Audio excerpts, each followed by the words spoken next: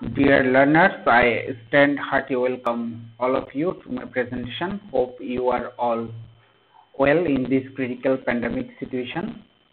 Dear students, uh, today I am going to talk about uh, unseen comprehension as you know and it may help you to write a story and also to write a paragraph. So dear students, let's start. This is uh, my identity. So dear students, what can you see in the picture. This is a fox isn't it? And what is the what happened in this fox? The it's a fox and it has no tail isn't it? So can you guess what we are going to talk about? Yes you have a good guess. Your idea is also right. Today we are going to talk about the fox without tail.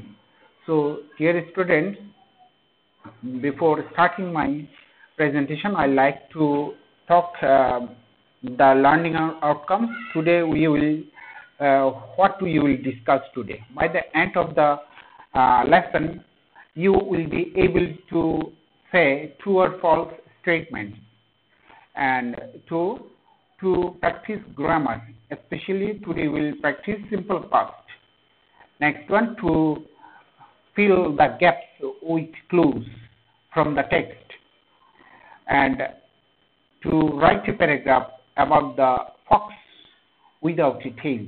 So these are the learning learning outcomes today we are going to talk about. First, we will introduce some vocab. Um, look at the vocab. What can you see? This is called, what is the picture? The picture is called trap. And, and the another synonym of the word trap is ambush. What can you see? A student is walking. This is called walk. And the synonym of the walk, march or hide. So, dear student, what can you see? Jungle. And this is called forest. Another name of the jungle is called forest. What can you see in the picture? Cut off. That means uh, disconnect. Okay, these are the important words. Uh, today we will know now look at the pictures. A fox is walking, isn't it? A fox is walking in the uh, uh, forest-like area. So can you see what is uh, looking for? Something is looking for. At the walking, he fell into a trap. Suppose while walking, it fell into a trap. Look at the picture. The uh, this is a cartoon-like picture. The fox fell into a trap and the, his its tail has stuck in the trap. So, dear learners, now the fox has lost its tail, isn't it? So, what is doing now? It's thinking what can we do is thinking and making a plan itself. Okay, dear students, and for this reason, the fox without tail um, call a meeting with the other fox of the jungle. You can see the pictures. So the foxes are in a meeting, and the fox without tail told the fox that the tail is very unnecessary thing for them it also bears dirt and, uh, and looks unhygienic. By saying this, the fox without tail tried to beguile the other foxes. Okay, dear learners, uh, now look at the text. A fox was walking through the jungle. He fell into a trap and left his, his tail behind. He felt very sad and ashamed. He called meeting and told all the foxes cut off their tails. But a wise fox understood his plan and they went away. okay, dear learners.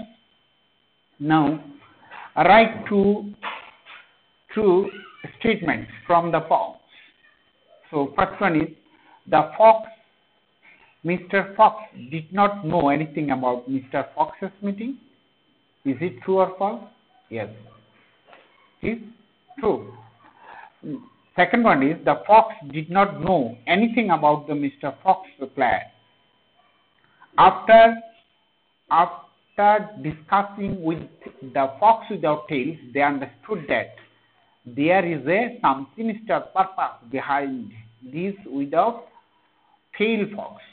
Okay, this is true. And now we are going to practice some grammar presentation and look at the um, statement uh, structure. Dear students, uh, uh, today I will uh, talk about the past form of the verb. So you have to make some words with the verbs as I will give you. So first one you have to know that the structure of the past form and you use subject V2 and extension Okay dear learners, I have written a sentence. Uh, by following the structure you need to know Mina told them there is a verb told. The present form of the told is tell. Mina if there is present form Mina tells but I have to use you you have to use first form of the verb. Mina told them about Mrs. Fox's tale. Like you, this sentence, you need to make more sentence by these following verbs. There are one, two, three, four verbs. Okay, write. Pause the video. Write it. Uh, write it uh, quickly. Okay, make sentences using first form of the following verbs. Okay, have you got it? I am moving on to the next slide. I think you have uh, written nicely draw, make a sentence. I am trying a sentence with the verb draw. He drew a picture of a fox without a tail. Right. What will be the sentence I am telling? He wrote a letter to me. Sing. What will be the sentence if I use in past form? He sang a song. Play what will be the sentence by using the verb play in the past form he played football yesterday okay that you may write another sentence. So like this you may make more other sentences. So dear students now moving on to the next. This is uh, gap filling activities. And there is no group. You try yourself in your uh, home by pause the video and try to make the uh, fill in the gaps. And there is a verb in the trap, fat, plan, ashamed, fail. So one, two, three, four verbs quickly. Mr. Fox lost his tail in a what? Trap. Very good. Then he felt very fat and ashamed. So he made a plan. So simple, dear students. So you need to uh, know that where is the word suitable for each stage. So dear students, now this is the time for evaluation. Now tell me some answers uh, of the questions. Who felt very pleased? Can you guess who felt very pleased? And next one, give an example of the past indefinite tense. As you write more uh, more sentences with first form of the verb. Who called meeting? Can you guess? And next one, change the tense into past form. Change the sentence into past form. Change the first tense.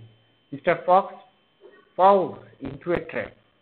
So, dear students, uh, pause the video, try to uh, make the answer of these uh, four questions. Give an example of the past tense. Who called meeting? Change past tense. Mr. Fox falls into a trap. Okay, dear students, I am moving on to the next.